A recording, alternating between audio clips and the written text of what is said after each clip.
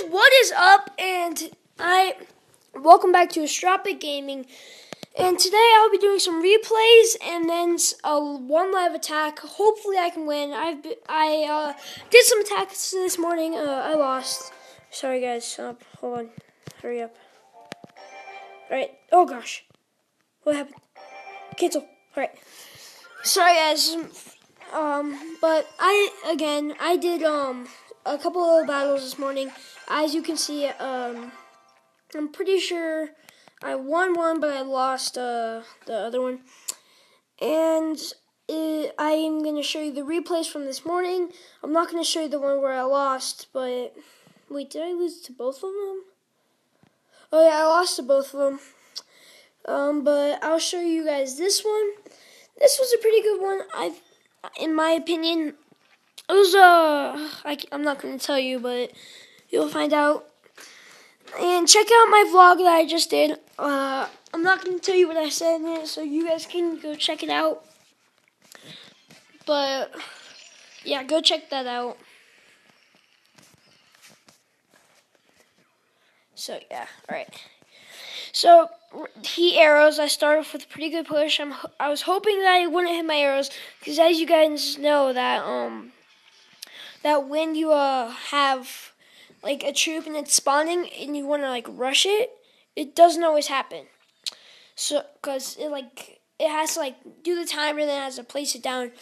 And right now, I had right there. I just had a pretty good push. I did a uh, Goblin's Knight Dragon. He didn't know what to place. I saw that he was gonna place his giant skelly right there, but he knew that he did that wouldn't work. So he placed his minion horde. And at this point in time, I know that I can um basically just arrow the tower down. So I'm pushing on that lane. He has barbarians, and my hog's not going to get a single hit off, but I need to drop off my um, uh, baby dragon. But since the barbarians split up, uh, my baby dragon only hit two of them. And the reason I placed my knight down there is because that pump is for the distraction of my of the hog. So he's gonna place it down right here, right there and it splits up the goblins, which really sucked because it just sucks because the goblins are much better as three. And so I dropped my, down my minion horde. He has his minion horde going on the other side. The giant skelly will reach the tower with the bomb. Pretty big radius right there. And I currently I have both towers really low. Well, basically one tower down because I can just arrow, and my hog runs right through that barbarian. He has both of my towers um down by like 800. And then he drops his hog off. Uh, I drop my gums. Gums are a great counter for that. I knew that was coming, so I dropped my knight. I was hoping that it would focus on the hog, which it did. So that was awesome. And he has a pretty strong push. He needs to cycle through to those arrows, but by the time he places those arrows, um, uh, the giant skellies are down, and then I did a horrible placement with my hog because basically uh, the bomb hit it, and that was kind of a waste. But we still got the tower, so that was good. And thank gosh that he doesn't. Well, he did have his freeze spell up, but currently I didn't know that he has his freeze spell. I think he should have used his freeze spell. And right there, I take that tower. Our I wish that we had more time because I would have gotten the three crown. But he arrows, which was a great arrow because he got my goblins and minion horde, which made the made the horde look even bigger. And guys, I know when you see a bunch of small troops and you think it's a timid intimidating. Sorry guys, the screen's twisting around, but and again, if you see the and if you see a bunch of small troops, um, don't worry if you have arrows. Um, just arrow it. You're gonna be fine after that. And so let's change that. And let's show you one more replay. Um, no, no, no. Let's go all the way down here. I already showed you that one. Um. All right, this one. This one is not with my golem deck, but it's another victory. And this is against Jones. I don't know who he is, but it was a really, really tight match. And I didn't know he had the hog or the poison, so I dropped it off in the back, which was a pretty big mistake because the he has the hog, and the hog uh, gets distracted by buildings, and the elixir pump is a building, and I think the poison spell's radius should be lowered because it can like hit anything. And so I dropped those off, then I dropped my goblins on the other side. He currently doesn't have anything to distract it. He's just gonna zap, which isn't gonna do anything, and I take that tower on my push, first push. That was a great push, guys. I um uh, I think that was well worth the damage on my, on the other side because he didn't take the tower, which was good. And so he has that tower really low. I was hoping that I'd take out that Valkyrie, which we do. He drops off his barbarians, but my baby dragon's going to do uh, a ton of damage to that. Only two barbarians survive.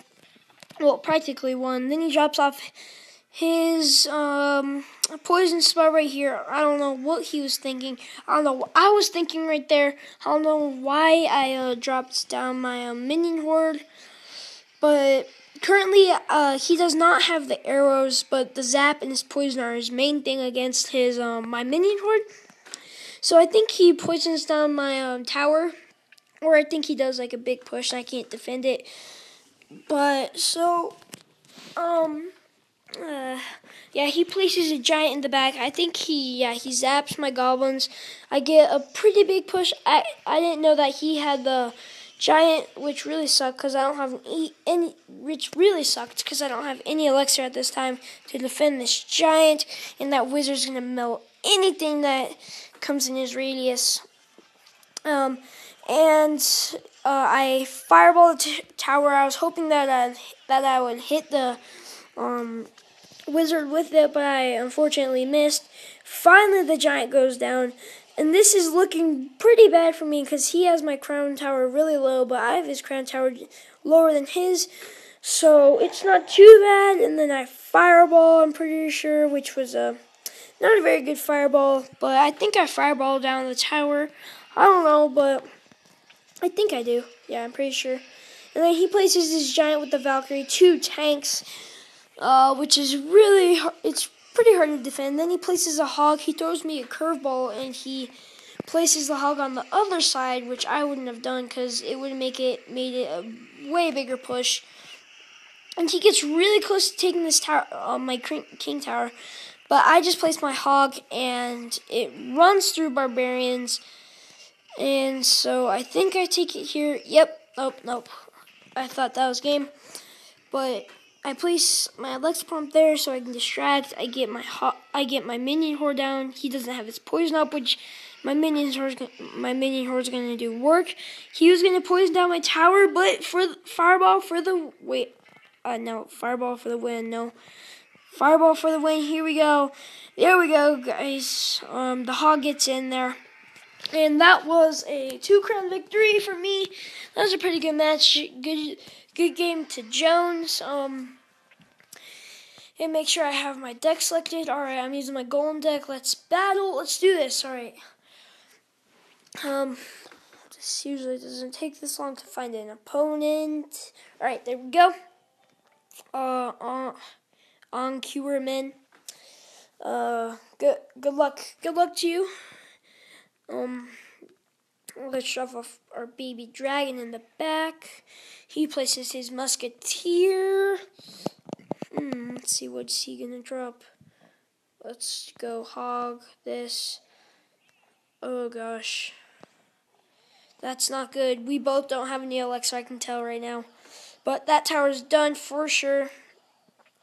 The hog's gonna get up in there, do some work. I think I'm gonna try to do this. Oh, that was a bad choice.